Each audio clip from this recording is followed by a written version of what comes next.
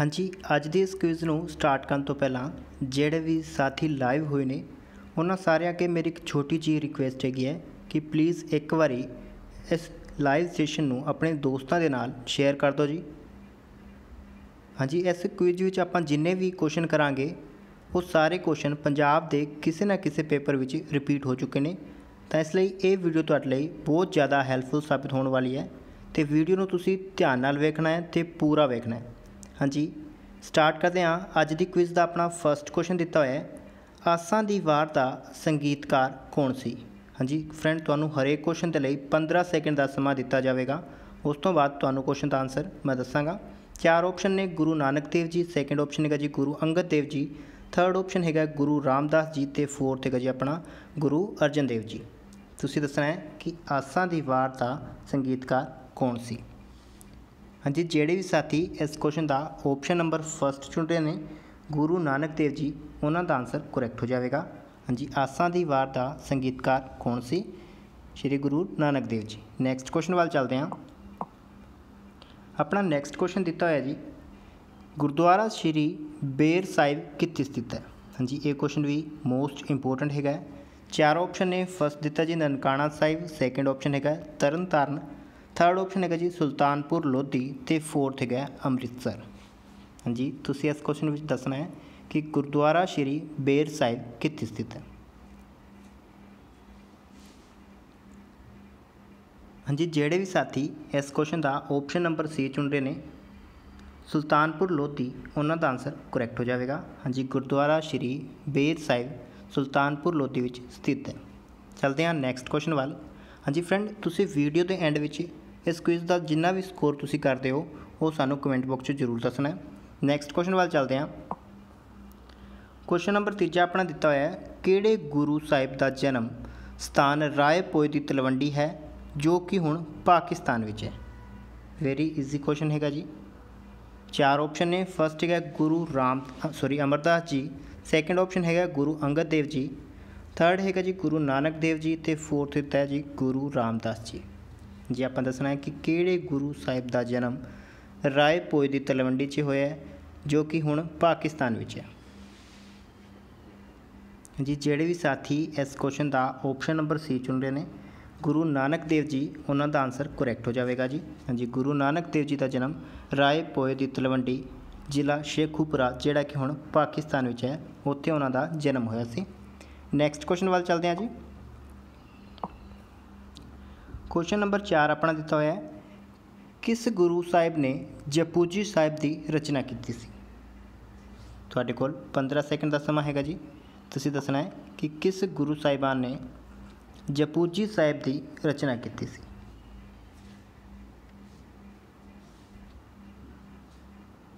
ਹਾਂਜੀ, ਜਿਹੜੇ ਵੀ ਸਾਥੀ ਇਸ ਕੁਐਸਚਨ ਦਾ ਆਪਸ਼ਨ ਨੰਬਰ ਸੀ ਚੁਣ ਰਹੇ ਨੇ, ਗੁਰੂ ਨਾਨਕ ਦੇਵ ਜੀ, ਉਹਨਾਂ ਦਾ ਆਨਸਰ ਕਰੈਕਟ ਹੋ ਜਾਵੇਗਾ ਜੀ।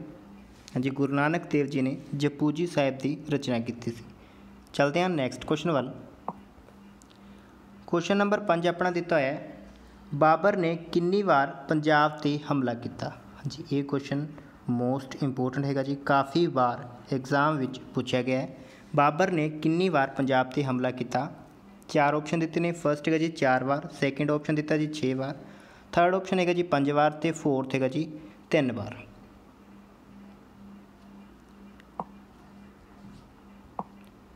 ਹਾਂਜੀ, ਜਿਨ੍ਹਾਂ ਸਾਥੀਆਂ ਨੇ ਇਸ ਕੁਐਸਚਨ ਦਾ ਆਪਸ਼ਨ ਨੰਬਰ ਸੀ ਚੁਣਿਆ ਪੰਜ ਵਾਰ ਉਹਨਾਂ ਦਾ ਆਨਸਰ ਕਰੈਕਟ ਹੋ ਜਾਵੇਗਾ। ਹਾਂਜੀ, ਬਾਬਰ ਨੇ ਪੰਜਾਬ ਤੇ ਪੰਜ ਵਾਰ ਹਮਲਾ ਕੀਤਾ ਸੀ।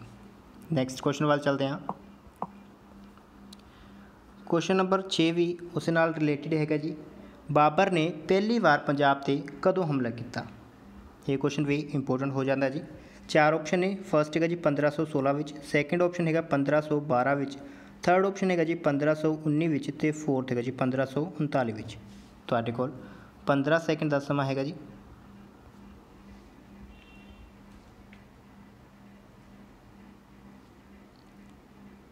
ਹਾਂਜੀ, ਜਿੰਨੇ ਜਿਨ੍ਹਾਂ ਸਾਥੀਆਂ ਨੇ ਇਸ ਕੁਐਸਚਨ ਦਾ ਆਪਸ਼ਨ ਨੰਬਰ ਸੀ ਚੁਣਿਆ 1519 ਉਹਨਾਂ ਦਾ ਆਨਸਰ ਕਰੈਕਟ ਹੋ ਜਾਵੇਗਾ। ਬਾਬਰ ਨੇ ਪੰਜਾਬ ਤੇ ਜਿਹੜਾ ਪਹਿਲੀ ਵਾਰ ਹਮਲਾ ਕੀਤਾ ਸੀ, ਉਹ 1519 ਵਿੱਚ ਕੀਤਾ ਸੀ। ਚਲਦੇ ਹਾਂ ਨੈਕਸਟ ਕੁਐਸਚਨ ਵੱਲ। ਕੁਐਸਚਨ ਨੰਬਰ 7 ਆਪਣਾ ਦਿੱਤਾ ਹੋਇਆ ਹੈ। ਭਗਤੀ ਲਹਿਰ ਦਾ ਸੰਸਥਾਪਕ ਕੌਣ ਸੀ? ਭਗਤੀ ਲਹਿਰ ਦਾ ਸੰਸਥਾਪਕ ਕੌਣ ਸੀ? ਚਾਰ ਆਪਸ਼ਨ ਨੇ। ਫਸਟ ਹੈਗਾ ਜੀ ਗੁਰੂ ਨਾਨਕ ਦੇਵ ਜੀ। ਸੈਕੰਡ ਆਪਸ਼ਨ ਹੈਗਾ ਗੁਰੂ ਅੰਗਦ ਦੇਵ ਜੀ। ਥਰਡ ਆਪਸ਼ਨ ਹੈਗਾ ਜੀ ਗੁਰੂ ਗੋਬਿੰਦ ਸਿੰਘ ਜੀ। ਤੇ ਫੋਰਥ ਹੈਗਾ ਜੀ ਗੁਰੂ ਅਰਜਨ ਦੇਵ ਜੀ। ਤੁਸੀਂ ਦੱਸਣਾ ਹੈ, ਭਗਤੀ ਲਹਿਰ ਦਾ ਸੰਸਥਾਪਕ ਕੌਣ ਸੀ? ਹਾਂਜੀ, ਇਸੇ ਤਰ੍ਹਾਂ ਦੇ ਹੀ ਕੁਐਸਚਨ ਤੁਹਾਨੂੰ ਵਾਰਡ ਅਟੈਂਡੈਂਟ ਵਿੱਚ ਪੁੱਛੇ ਜਾਣਗੇ। ਜਿਨ੍ਹਾਂ ਸਾਥੀਆਂ ਨੇ ਇਸ ਕੁਐਸਚਨ ਦਾ ਆਪਸ਼ਨ ਨੰਬਰ ਏ ਚੁਣਿਆ ਜੀ, ਗੁਰੂ ਨਾਨਕ ਦੇਵ ਜੀ। ਉਹਨਾਂ ਦਾ ਆਨਸਰ ਕਰੈਕਟ ਹੋ ਜਾਂਦਾ ਹੈ। ਹਾਂਜੀ, ਭਗਤੀ ਲਹਿਰ ਦੇ ਸੰਸਥਾਪਕ ਸੀ ਗੁਰੂ ਨਾਨਕ ਦੇਵ ਜੀ। ਹਾਂਜੀ ਫਰੈਂਡ ਜੇਕਰ ਤੁਹਾਨੂੰ ਇਹ ਕੁਇਜ਼ ਚੰਗੀ ਲੱਗ ਰਹੀ ਹੈ, ਤਾਂ ਕੁਇਜ਼ ਨੂੰ ਲਾਈਕ ਕਰਿਓ ਤੇ ਕੰਪਲੀਟ ਕੁਇਜ਼ ਨੂੰ ਕਰਕੇ ਬਾਅਦ 'ਚ ਇਹਨੂੰ ਆਪਣੇ ਸਾਥੀਆਂ ਦੇ ਨਾਲ ਸ਼ੇਅਰ ਜ਼ਰੂਰ ਕਰਿਓ ਜੀ। ਨੈਕਸਟ ਕੁਐਸਚਨ ਵੱਲ ਚੱਲਦੇ ਹਾਂ। ਕੁਐਸਚਨ ਨੰਬਰ 8 ਆਪਣਾ ਦਿੱਤਾ ਹੋਇਆ ਹੈ। ਰਤਨਾਵਲੀ ਦੀ ਰਚਨਾ ਕਿਸ ਨੇ ਕੀਤੀ? ਤੁਹਾਡੇ ਕੋਲ 15 ਸੈਕਿੰਡ ਦਾ ਸਮਾਂ ਹੈਗਾ ਜੀ।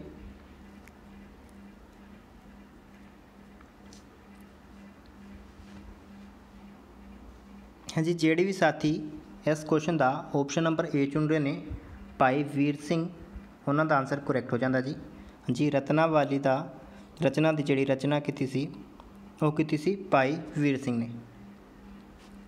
ਨੈਕਸਟ ਕੁਐਸਚਨ ਵੱਲ ਚੱਲਦੇ ਹਾਂ ਜੀ। ਕੁਐਸਚਨ ਨੰਬਰ 9 ਆਪਣਾ ਦਿੱਤਾ ਹੋਇਆ ਹੈ, ਕਿਸ ਦੀ ਸਾਖੀ ਨੂੰ ਸਭ ਤੋਂ ਭਰੋਸੇਮੰਦ ਮੰਨਿਆ ਜਾਂਦਾ ਹੈ। ਹਾਂਜੀ, ਇਹ ਕੁਐਸਚਨ ਵੀ ਮੋਸਟ ਇੰਪੋਰਟੈਂਟ ਹੈਗਾ ਜੀ। ਕਿਸ ਦੀ ਸਾਖੀ ਨੂੰ ਸਭ ਤੋਂ ਭਰੋਸੇਮੰਦ ਮੰਨਿਆ ਜਾਂਦਾ ਹੈ? ਤੁਹਾਡੇ ਕੋਲ ਚਾਰ ਆਪਸ਼ਨ ਨੇ। ਫਰਸਟ ਹੈਗਾ ਜੀ, ਭਾਈ ਮਨੀ ਸਿੰਘ ਦੀ ਜਨਮ ਸਾਖੀ। ਸੈਕੰਡ ਆਪਸ਼ਨ ਹੈਗਾ ਭਾਈ ਬਾਲਾ ਦੁਆਰਾ ਜਨਮ ਸਾਖੀ। ਤੇ ਥਰਡ ਹੈਗਾ ਜੀ, ਪ੍ਰਾਚੀਨ ਜਨਮ ਸਾਖੀ। ਫੋਰਥ ਹੈਗਾ ਜੀ, ਇਹਨਾਂ ਵਿੱਚੋਂ ਕੋਈ ਨਹੀਂ।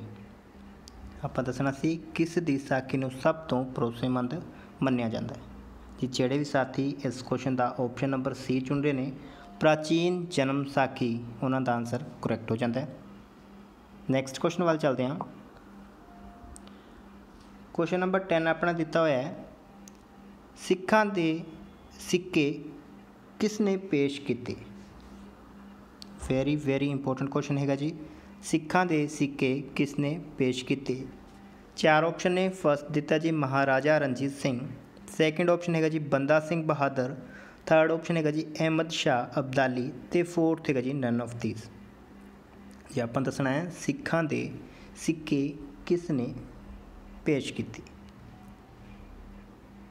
ਜੀ ਜਿਹੜੇ ਵੀ ਸਾਥੀ ਇਸ ਕੁਐਸਚਨ ਦਾ ਆਪਸ਼ਨ ਨੰਬਰ ਬੀ ਚੁਣ ਰਹੇ ਨੇ, ਬੰਦਾ ਸਿੰਘ ਬਹਾਦਰ, ਉਹਨਾਂ ਦਾ ਆਨਸਰ ਕਰੈਕਟ ਹੋ ਜਾਂਦਾ ਜੀ। ਚਲਦੇ ਹਾਂ ਨੈਕਸਟ ਕੁਐਸਚਨ ਵੱਲ। ਕੁਐਸਚਨ ਨੰਬਰ 11 ਆਪਣਾ ਦਿੱਤਾ ਹੋਇਆ ਹੈ। ਦਸਮ ਗ੍ਰੰਥ ਵਿੱਚ ਕਿੰਨੀਆਂ ਰਚਨਾਵਾਂ ਸ਼ਾਮਲ ਕੀਤੀਆਂ ਗਈਆਂ ਹਨ ਹਾਂਜੀ, ਥੋੜ੍ਹਾ ਜਿਹਾ ਵਿਖਾਈ ਨਹੀਂ ਦੇ ਰਿਹਾ। ਇਹ ਹੈਗਾ ਜੀ, ਦਸਮ ਗ੍ਰੰਥ ਵਿੱਚ ਕਿੰਨੀਆਂ ਰਚਨਾਵਾਂ ਸ਼ਾਮਿਲ ਕੀਤੀਆਂ ਗਈਆਂ ਹਨ? ਚਾਰ ਆਪਸ਼ਨ ਨੇ ਫਰਸਟ ਹੈਗਾ ਜੀ 18 ਸੈਕੰਡ ਆਪਸ਼ਨ ਦਿੱਤਾ ਹੈ 12 ਥਰਡ ਆਪਸ਼ਨ ਹੈਗਾ ਜੀ 10 ਤੇ ਫੋਰਥ ਦਿੱਤਾ ਹੈ 16 ਹਾਂਜੀ, ਆਪਾਂ ਦੱਸਣਾ ਸੀ, ਦਸਮ ਗ੍ਰੰਥ ਵਿੱਚ ਕਿੰਨੀਆਂ ਰਚਨਾਵਾਂ ਸ਼ਾਮਿਲ ਕੀਤੀਆਂ ਗਈਆਂ ਹਨ? ਜਿਹੜੇ ਵੀ ਸਾਥੀ ਇਸ ਕੁਐਸਚਨ ਦਾ ਆਪਸ਼ਨ ਨੰਬਰ ਸੀ ਚੁਣ ਰਹੇ ਨੇ 10 ਉਹਨਾਂ ਦਾ ਆਨਸਰ ਕਰੈਕਟ ਹੋ ਜਾਵੇਗਾ। ਹਾਂਜੀ, ਦਸਮ ਗ੍ਰੰਥ ਵਿੱਚ ਕਿੰਨੀਆਂ ਰਚਨਾਵਾਂ ਸ਼ਾਮਿਲ ਸਨ? 10 ਨੈਕਸਟ ਕੁਐਸਚਨ ਵੱਲ ਚੱਲਦੇ ਹਾਂ। ਪੰਜਾਬ ਨੂੰ ਬ੍ਰਿਟਿਸ਼ ਖੇਤਰ ਵਿੱਚ ਕਦੋਂ ਮਿਲਾਇਆ ਗਿਆ? ਇਹ ਕੁਐਸਚਨ ਬਹੁਤ ਵਾਰ ਰਿਪੀਟ ਹੋ ਚੁੱਕਿਆ ਜੀ। ਪੰਜਾਬ ਨੂੰ ਬ੍ਰਿਟਿਸ਼ ਖੇਤਰ ਵਿੱਚ ਕਦੋਂ ਮਿਲਾਇਆ ਗਿਆ? ਤੁਹਾਡੇ ਕੋਲ 15 ਸੈਕਿੰਡ ਦਾ ਸਮਾਂ ਹੈਗਾ ਜੀ।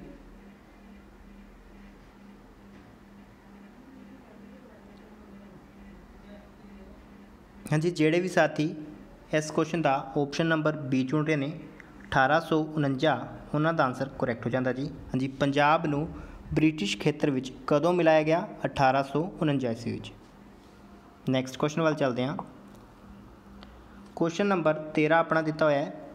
ਇੰਡੀਅਨ ਨੈਸ਼ਨਲ ਕਾਂਗਰਸ ਸ਼ੋਰਟ ਵਿੱਚ ਕਹਿੰਦੇ ਨੇ ਆਈ ਐਨ ਸੀ ਜਿਸ ਦੀ ਸਥਾਪਨਾ ਹੋਈ ਸੀ 1885 ਵਿੱਚ। ਕਿਸ ਦੇ ਟਾਈਮ ਹੋਈ ਸੀ? ਏ ਓ ਹਿਊਮ ਦੇ ਟਾਈਮ ਜਿਹੜਾ ਕਿ ਇਸ ਦੇ ਸੰਸਥਾਪਕ ਸੀ। ਆਪਸ਼ਨ ਆਪਾਂ ਦੱਸਣਾ ਸੀ ਆਈ ਐਨ ਸੀ ਦੇ ਪਹਿਲੇ ਮੁਸਲਿਮ ਪ੍ਰਧਾਨ ਕੌਣ ਸੀ? ਚਾਰ ਆਪਸ਼ਨ ਦਿੱਤੇ ਹੋਏ ਨੇ। ਫਰਸਟ ਹੈਗਾ ਜੀ ਐਨੀ ਬਸੰਤ। ਸੈਕੰਡ ਆਪਸ਼ਨ ਹੈਗਾ ਜਾਰਜ ਸ਼ੂਲੇ ਥਰਡ ਆਪਸ਼ਨ ਹੈਗਾ ਜੀ ਬਦਰੁਦੀਨ ਤੈਯਬ ਜੀ। ਤੇ ਫੋਰਥ ਹੈਗਾ ਜੀ ਮਹਾਤਮਾ ਗਾਂਧੀ। ਆਪਾਂ ਦੱਸਣਾ ਸੀ ਇੰਡੀਅਨ ਨੈਸ਼ਨਲ ਕਾਂਗਰਸ ਦੇ ਪਹਿਲੇ ਮੁਸਲਿਮ ਪ੍ਰਧਾਨ। ਜਿਨ੍ਹਾਂ ਵੀ ਸਾਥੀਆਂ ਨੇ ਇਸ ਕੁਐਸਚਨ ਦਾ ਆਪਸ਼ਨ ਨੰਬਰ ਸੀ ਚੁਣਿਆ ਹੈ, ਬਦਰੁਦੀਨ ਤੈਯਬ ਜੀ, ਉਹਨਾਂ ਦਾ ਆਨਸਰ ਕਰੈਕਟ ਹੋ ਜਾਂਦਾ ਹੈ। ਹਾਂਜੀ ਆਈਐਨਸੀ ਦੇ ਪਹਿਲੇ ਮੁਸਲਿਮ ਪ੍ਰੈਜ਼ੀਡੈਂਟ ਸੀ ਬਦਰੁਦੀਨ ਤੈਯਬ ਜੀ। ਜੇਕਰ ਪੁੱਛਿਆ ਜਾਵੇ ਕਿ ਪਹਿਲੀ ਮਹਿਲਾ ਪ੍ਰੈਜ਼ੀਡੈਂਟ ਕੌਣ ਸੀ, ਤਾਂ ਆਨਸਰ ਹੋ ਜਾਵੇਗਾ ਜੀ ਐਨੀ ਬਸੰਤ। ਜੇਕਰ ਪੁੱਛਿਆ ਜਾਵੇ ਕਿ ਪਹਿਲਾ ਅੰਗਰੇਜ਼ ਪ੍ਰੈਜ਼ੀਡੈਂਟ ਕੌਣ ਸੀ, ਤਾਂ ਆਪਸ਼ਨ ਬੀ ਹੋ ਜਾਵੇਗਾ ਜੀ ਜਾਰਜ ਯੂਲੇ ਆਪਣੇ ਕੋਲ ਪੁੱਛਿਆ ਗਿਆ ਸੀ ਪਹਿਲਾ ਮੁਸਲਿਮ, ਤਾਂ ਇਸ ਕੁਐਸਚਨ ਦਾ ਆਪਸ਼ਨ ਸੀ ਆਪਣਾ ਕਰੈਕਟ ਹੋ ਜਾਂਦਾ ਹੈ। ਚਲਦੇ ਹਾਂ ਜੀ ਨੈਕਸਟ ਕੁਐਸਚਨ ਵੱਲ। ਕੁਐਸਚਨ ਨੰਬਰ 14 ਆਪਣਾ ਦਿੱਤਾ ਹੋਇਆ ਹੈ। ਭਾਰਤ ਦੇ ਰਾਸ਼ਟਰਪਤੀ ਦੀ ਚੋਣ ਕਿਵੇਂ ਹੁੰਦੀ ਹੈ? ਜੀ ਇਹ ਕੁਐਸਚਨ ਮੋਸਟ ਇੰਪੋਰਟੈਂਟ ਹੈਗਾ ਜੀ। ਬਹੁਤ ਜ਼ਿਆਦਾ ਰਿਪੀਟ ਹੋ ਚੁੱਕਿਆ ਫਰਸਟ ਆਪਸ਼ਨ ਹੈਗਾ ਜੀ ਜਨਤਾ ਦੁਆਰਾ ਸੈਕੰਡ ਆਪਸ਼ਨ ਹੈਗਾ ਦੂਜੀ ਚੋਣ ਪ੍ਰਣਾਲੀ ਥਰਡ ਆਪਸ਼ਨ ਦਿੱਤਾ ਜੀ ਸਿੰਗਲ ਟ੍ਰਾਂਸਫਰੇਬਲ ਵੋਟ ਦੁਆਰਾ ਤੇ ਫੋਰਥ ਹੈਗਾ ਜੀ ਇਹਨਾਂ ਵਿੱਚੋਂ ਕੋਈ ਨਹੀਂ। ਤੁਹਾਡੇ ਕੋਲ 15 ਸੈਕਿੰਡ ਨੇ ਜੀ ਇਸ ਕੁਐਸਚਨ ਦਾ ਆਨਸਰ ਦੱਸਣ ਲਈ।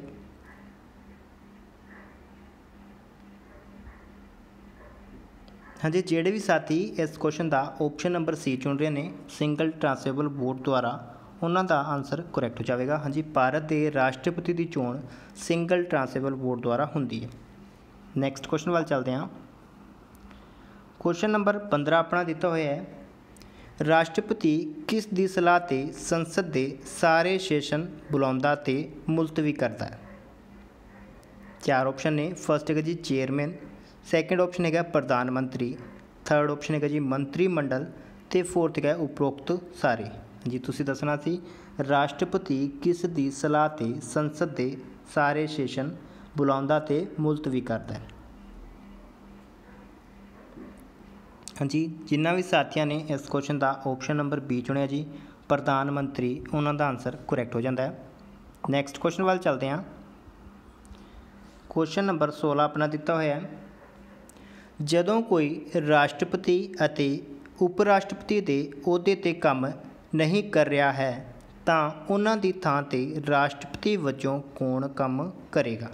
ਕੁਐਸਚਨ ਬਹੁਤ ਜ਼ਿਆਦਾ ਇੰਪੋਰਟੈਂਟ ਹੈਗਾ ਜੀ। ਫਿਰ ਤੋਂ ਰਿਪੀਟ ਕਰ ਦੇਣਾ ਕਿ ਜਦੋਂ ਕੋਈ ਰਾਸ਼ਟਰਪਤੀ ਤੇ ਉਪ ਰਾਸ਼ਟਰਪਤੀ ਦੇ ਅਹੁਦੇ ਤੇ ਕੰਮ ਨਹੀਂ ਕਰ ਰਿਹਾ ਹੈ, ਤਾਂ ਉਹਨਾਂ ਦੀ ਥਾਂ ਤੇ ਰਾਸ਼ਟਰਪਤੀ ਵਜੋਂ ਕੌਣ ਕੰਮ ਕਰੇਗਾ? ਚਾਰ ਆਪਸ਼ਨ ਦਿੱਤੇ ਹੋਏ ਨੇ। ਫਸਟ ਹੈਗਾ ਜੀ, ਲੋਕ ਸਭਾ ਦਾ ਸਪੀਕਰ ਸੈਕੰਡ ਆਪਸ਼ਨ ਹੈਗਾ ਭਾਰਤ ਦੇ ਕੰਟਰੋਲਰ ਅਤੇ ਆਡੀਟਰ ਜਨਰਲ ਥਰਡ ਆਪਸ਼ਨ ਹੈਗਾ ਭਾਰਤ ਦੇ ਮੁੱਖ ਜੱਜ ਤੇ ਫੋਰਥ ਹੈਗਾ ਜੀ, ਇਹਨਾਂ ਵਿੱਚੋਂ ਕੋਈ ਨਹੀਂ।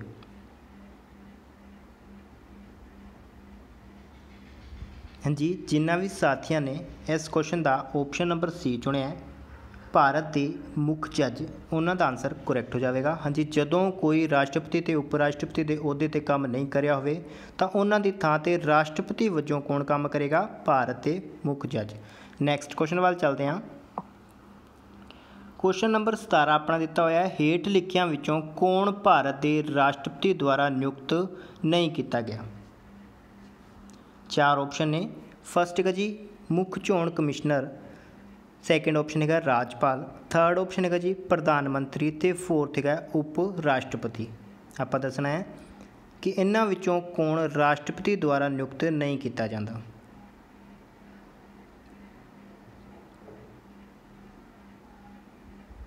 ਹਾਂਜੀ, ਜਿਨ੍ਹਾਂ ਸਾਥੀਆਂ ਨੇ ਆਪਸ਼ਨ ਨੰਬਰ ਡੀ ਚੁਣਿਆ ਹੈ, ਉਪ ਰਾਸ਼ਟਰਪਤੀ, ਉਹਨਾਂ ਦਾ ਆਨਸਰ ਕਰੈਕਟ ਹੋ ਜਾਵੇਗਾ। ਹਾਂਜੀ, ਬਾਕੀ ਜਿਹੜੇ ਤਿੰਨੋਂ ਦਿੱਤੇ ਨੇ, ਉਹ ਰਾਸ਼ਟਰਪਤੀ ਦੁਆਰਾ ਨਿਯੁਕਤ ਕੀਤੇ ਜਾਂਦੇ ਨੇ। ਮੁੱਖ ਚੋਣ ਕਮਿਸ਼ਨਰ ਰਾਜਪਾਲ ਤੇ ਪ੍ਰਧਾਨ ਮੰਤਰੀ, ਜਿਹੜਾ ਉਪ ਰਾਸ਼ਟਰਪਤੀ ਹੈ, ਇਹ ਰਾਸ਼ਟਰਪਤੀ ਦੁਆਰਾ ਨਿਯੁਕਤ ਨਹੀਂ ਕੀਤਾ ਜਾਂਦਾ। ਹਾਂਜੀ, ਤੁਸੀਂ ਕਮੈਂਟ ਬਾਕਸ 'ਚ ਦੱਸਣਾ ਹੈ ਕਿ ਉਪ ਰਾਸ਼ਟਰਪਤੀ ਦੀ ਨਿਯੁਕਤੀ ਜਿਹੜੀ ਕੌਣ ਕਰਦਾ ਹੈ? ਨੈਕਸਟ ਕੁਐਸਚਨ ਵੱਲ ਚੱਲਦੇ ਹਾਂ। ਕੁਐਸਚਨ ਨੰਬਰ 18 ਆਪਣਾ ਦਿੱਤਾ ਹੋਇਆ ਹੈ। ਰਾਸ਼ਟਰਪਤੀ ਦੀ ਚੋਣ ਕਿਸ ਦੁਆਰਾ ਕੀਤੀ ਜਾਂਦੀ ਹੈ? ਤੁਹਾਡੇ ਕੋਲ ਚਾਰ ਆਪਸ਼ਨ ਦਿੱਤੇ ਹੋਏ ਨੇ। ਫਰਸਟ ਹੈਗਾ ਜੀ ਸੰਸਦ ਕਾਰਜ ਮੰਤਰੀ ਸੈਕੰਡ ਆਪਸ਼ਨ ਹੈਗਾ ਜੀ ਚੋਣ ਕਮਿਸ਼ਨਰ ਥਰਡ ਆਪਸ਼ਨ ਹੈਗਾ ਲੋਕ ਸਭਾ ਸਪੀਕਰ ਤੇ ਫੋਰਥ ਹੈਗਾ ਜੀ ਉਪਰੋਕਤ ਸਾਰੇ। ਜੀ, ਤੁਹਾਡੇ ਕੋਲ 15 ਸੈਕਿੰਡ ਦਾ ਸਮਾਂ ਹੈਗਾ। ਤੁਸੀਂ ਦੱਸਣਾ ਹੈ, ਰਾਸ਼ਟਰਪਤੀ ਦੀ ਚੋਣ ਕਿਸ ਦੁਆਰਾ ਕੀਤੀ ਜਾਂਦੀ ਹੈ?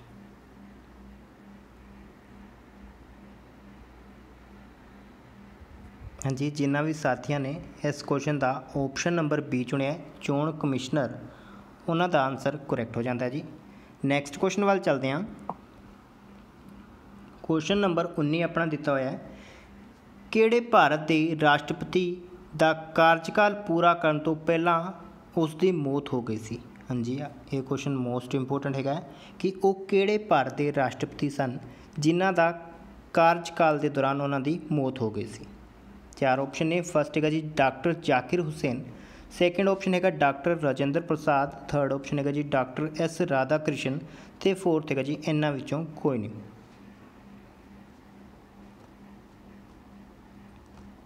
ਹਾਂਜੀ, ਜਿਹੜੇ ਵੀ ਸਾਥੀ ਇਸ ਕੁਐਸਚਨ ਦਾ ਆਪਸ਼ਨ ਨੰਬਰ ਫਸਟ ਚੁਣ ਰਹੇ ਨੇ ਡਾਕਟਰ ਜ਼ਾਕਿਰ ਹੁਸੈਨ, ਉਹਨਾਂ ਦਾ ਆਨਸਰ ਕਰੈਕਟ ਹੋ ਜਾਵੇਗਾ। ਜੀ ਡਾਕਟਰ ਜ਼ਾਕਿਰ ਹੁਸੈਨ ਸੀ, ਜਿਨ੍ਹਾਂ ਦਾ ਕਾਰਜਕਾਲ ਦੌਰਾਨ ਉਹਨਾਂ ਦੀ ਮੌਤ ਹੋ ਗਈ ਸੀ।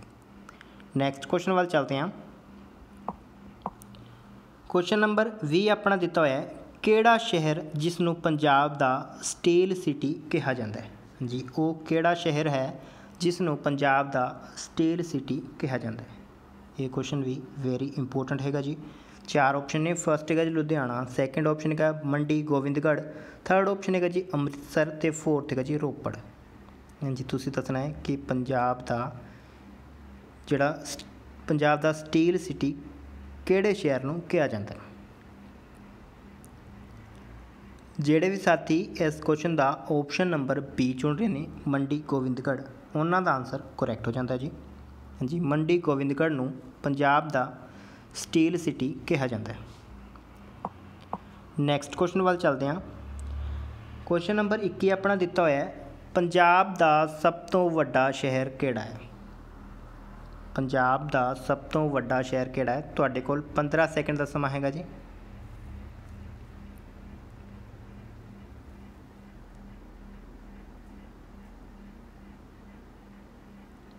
ਹਾਂਜੀ, ਜਿਹੜੇ ਵੀ ਸਾਥੀ ਇਸ ਕੁਐਸਚਨ ਦਾ ਆਪਸ਼ਨ ਨੰਬਰ ਸੀ ਚੁਣਦੇ ਨੇ, ਲੁਧਿਆਣਾ, ਉਹਨਾਂ ਦਾ ਆਨਸਰ ਕਰੈਕਟ ਹੋ ਜਾਵੇਗਾ। ਹਾਂਜੀ, ਪੰਜਾਬ ਦਾ ਸਭ ਤੋਂ ਵੱਡਾ ਸ਼ਹਿਰ ਕਿਹੜਾ ਹੈਗਾ ਜੀ? ਲੁਧਿਆਣਾ।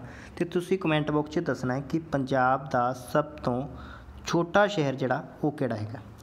ਕਮੈਂਟ ਬਾਕਸ 'ਚ ਦੱਸਣਾ ਹੈ ਕਿ ਪੰਜਾਬ ਦਾ ਸਭ ਤੋਂ ਛੋਟਾ ਸ਼ਹਿਰ ਕਿਹੜਾ ਹੈਗਾ? ਚਲਦੇ ਹਾਂ ਜੀ ਨੈਕਸਟ ਕੁਐਸਚਨ ਵੱਲ। ਕੁਐਸਚਨ ਨੰਬਰ 22 ਆਪਣਾ ਦਿੱਤਾ ਹੋਇਆ ਹੈ, ਕਦੋਂ ਅਕਾਲ ਤਖਤ ਬਣਾਇਆ ਗਿਆ ਸੀ? ਇਹ ਕੁਐਸਚਨ ਵੀ ਮੋਸਟ ਇੰਪੋਰਟੈਂਟ ਹੈਗਾ ਜੀ। ਅਕਾਲ ਤਖਤ ਕਦੋਂ ਬਣਾਇਆ ਗਿਆ ਸੀ? ਫਸਟ ਆਪਸ਼ਨ ਹੈਗਾ 1606 ਵਿੱਚ। ਸੈਕੰਡ ਆਪਸ਼ਨ ਹੈਗਾ ਜੀ 1609 ਵਿੱਚ। ਥਰਡ ਆਪਸ਼ਨ ਹੈਗਾ 1607 ਵਿੱਚ ਤੇ ਫੋਰਥ ਹੈਗਾ ਜੀ 1608 ਵਿੱਚ। ਹਾਂਜੀ, ਤੁਸੀਂ ਦੱਸਣਾ ਹੈ ਅਕਾਲ ਤਖਤ ਕਦੋਂ ਬਣਾਇਆ ਗਿਆ ਸੀ?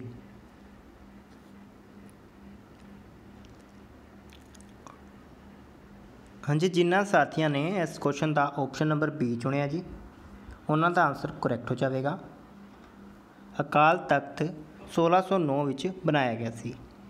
ਹਾਂਜੀ ਫਰੈਂਡ ਜੇਕਰ ਤੁਹਾਨੂੰ ਇਹ ਕੁਇਜ਼ ਚੰਗੀ ਲੱਗ ਰਹੀ ਹੈ ਤਾਂ ਕੁਇਜ਼ ਨੂੰ ਲਾਈਕ ਕਰਿਓ ਤੇ ਇਸ ਨੂੰ ਪੂਰਾ ਕੰਪਲੀਟ ਵੇਖ ਕੇ ਆਪਣੇ ਸਾਥੀਆਂ ਦੇ ਨਾਲ ਇਸ ਨੂੰ ਸ਼ੇਅਰ ਜ਼ਰੂਰ ਕਰਿਆ ਜੀ। ਜੇਕਰ ਤੁਸੀਂ ਸਾਡੇ ਚੈਨਲ ਤੇ ਪਹਿਲੀ ਵਾਰ ਵਿਜ਼ਿਟ ਕਰ ਰਹੇ ਹੋ ਫਸਟ ਟਾਈਮ ਸਾਡੀ ਵੀਡੀਓ ਵੇਖ ਰਹੇ ਹੋ, ਤਾਂ ਚੈਨਲ ਨੂੰ ਜ਼ਰੂਰ ਸਬਸਕ੍ਰਾਈਬ ਕਰ ਲਿਆ ਜੀ ਤੇ ਨਾਲ ਲੱਗੇ ਬੈਲ ਆਈਕਨ ਨੂੰ ਵੀ ਪ੍ਰੈਸ ਕਰਨਾ। ਨੈਕਸਟ ਕੁਐਸਚਨ ਵੱਲ ਚੱਲਦੇ ਹਾਂ ਜੀ। ਕੁਐਸਚਨ ਨੰਬਰ 23 ਆਪਣਾ ਦਿੱਤਾ ਹੋਇਆ ਜੀ। ਜਿਸ ਦੀ ਬਾਣੀ ਸ੍ਰੀ ਗੁਰੂ ਗ੍ਰੰਥ ਸਾਹਿਬ ਵਿੱਚ ਸ਼ਾਮਿਲ ਹੈ। ਜੀ ਆਪਾਂ ਦੱਸਣਾ ਹੈ।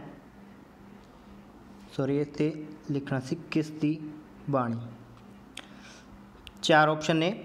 ਫਰਸਟ ਹੈਗਾ ਜੀ ਸ਼ਾਹ ਹੁਸੈਨ ਸੈਕੰਡ ਆਪਸ਼ਨ ਹੈਗਾ ਪੀਲੂ ਥਰਡ ਆਪਸ਼ਨ ਹੈਗਾ ਜੀ ਭਗਤ ਚਸੂ ਤੇ ਫੋਰਥ ਹੈਗਾ ਭਗਤ ਕਬੀਰ। ਤੁਹਾਡੇ ਕੋਲ 15 ਸੈਕਿੰਡ ਹੈ ਜੀ। ਤੁਸੀਂ ਦੱਸਣਾ ਹੈ। ਕਿ ਇਹਨਾਂ ਵਿੱਚੋਂ ਕਿਸ ਦੀ ਬਾਣੀ ਗੁਰੂ ਗ੍ਰੰਥ ਸਾਹਿਬ ਵਿੱਚ ਜਿਹੜੀ ਸ਼ਾਮਲ ਹੈਗੀ ਹੈ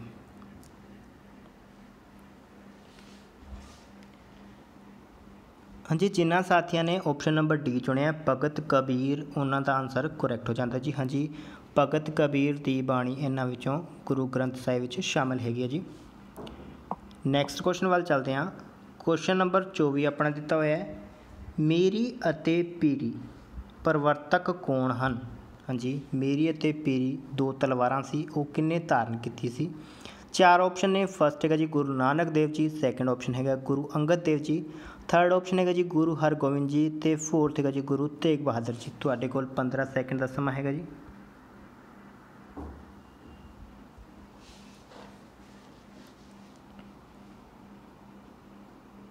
ਹਾਂਜੀ, ਜਿਹੜੇ ਵੀ ਸਾਥੀ ਇਸ ਕੁਐਸਚਨ ਦਾ ਆਪਸ਼ਨ ਨੰਬਰ ਸੀ ਚੁਣ ਰਹੇ ਨੇ ਗੁਰੂ ਹਰਗੋਬਿੰਦ ਸਿੰਘ ਜੀ, ਉਹਨਾਂ ਦਾ ਆਨਸਰ ਕਰੈਕਟ ਹੋ ਜਾਵੇਗਾ ਜੀ। ਹਾਂਜੀ, ਮੇਰੀ ਅਤੇ ਪੀਰੀ ਜਿਹੜੀ ਦੋ ਤਲਵਾਰਾਂ ਸੀ, ਉਹ ਕਿੰਨੇ ਧਾਰਨ ਕੀਤੀ ਸੀ? ਗੁਰੂ ਹਰਗੋਬਿੰਦ ਸਿੰਘ ਜੀ ਨੇ। ਨੈਕਸਟ ਕੁਐਸਚਨ ਵੱਲ ਚੱਲਦੇ ਹਾਂ ਜੀ।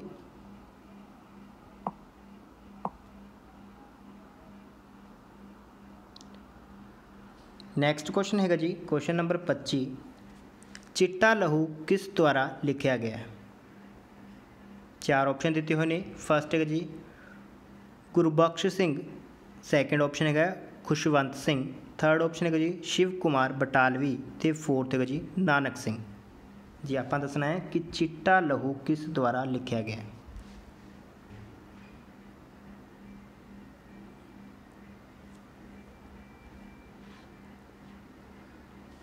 ਹਾਂਜੀ, ਜਿਨ੍ਹਾਂ ਸਾਥੀਆਂ ਨੇ ਇਸ ਕੁਐਸਚਨ ਦਾ ਆਪਸ਼ਨ ਨੰਬਰ ਡੀ ਚੁਣਿਆ ਗੁਰੂ ਨਾਨਕ ਸਿੰਘ ਉਹਨਾਂ ਦਾ ਆਨਸਰ ਕਰੈਕਟ ਹੋ ਜਾਵੇਗਾ। ਹਾਂਜੀ ਚਿੱਟਾ ਲਹੂ ਜਿਹੜੀ ਰਚਨਾ ਹੈਗੀ ਹੈ, ਉਹ ਗੁਰੂ ਨਾਨਕ ਸਿੰਘ ਦੀ ਰਚਨਾ ਹੈ। ਹਾਂਜੀ ਅੱਜ ਦੀ ਇਸ ਕੁਇਜ਼ ਦੇ ਲਾਸਟ ਕੁਐਸਚਨ ਵੱਲ ਚਲਦੇ ਹਾਂ ਜੀ। ਕਿਹੜਾ ਵਿਟਾਮਿਨ ਸੂਰਜ ਦੀ ਰੋਸ਼ਨੀ ਤੋਂ ਪ੍ਰਾਪਤ ਹੁੰਦਾ ਹੈ?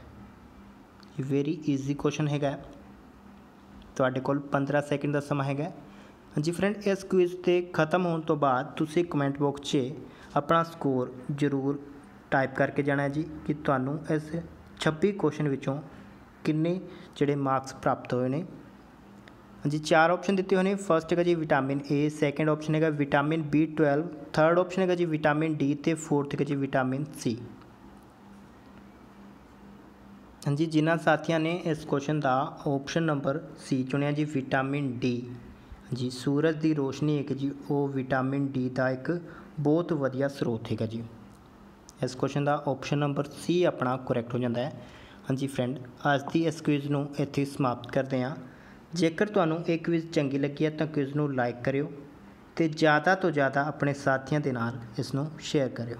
ਜੇਕਰ ਤੁਸੀਂ ਸਾਡੇ ਚੈਨਲ ਤੇ ਨਵੇਂ ਹੋ, ਪਹਿਲੀ ਵਾਰ ਸਾਡੀ ਵੀਡੀਓ ਵੇਖ ਰਹੇ ਹੋ ਤਾਂ ਚੈਨਲ ਨੂੰ ਜਰੂਰ ਸਬਸਕ੍ਰਾਈਬ ਕਰ ਲਓ ਤੇ ਨਾਲ ਲੱਗੇ ਬੈਲ ਆਈਕਨ ਨੂੰ ਵੀ ਪ੍ਰੈਸ ਕਰ ਲਓ, ਜਿਸ ਦੇ ਨਾਲ ਤੁਹਾਨੂੰ ਸਾਡੀ ਹਰੇਕ ਨਵੀਂ ਵੀਡੀਓ ਦੀ ਨੋਟੀਫਿਕੇਸ਼ਨ ਟਾਈਮ ਨਾਲ ਮਿਲਦੀ ਰਹੇਗੀ। ਹਾਂਜੀ, ਮਿਲਦੇ ਹਾਂ ਜੀ ਨੈਕਸਟ ਵੀਡੀਓ 'ਚ। ਉਦੋਂ ਤੱਕ ਦੇ ਲਈ ਟੇਕ ਕੇਅਰ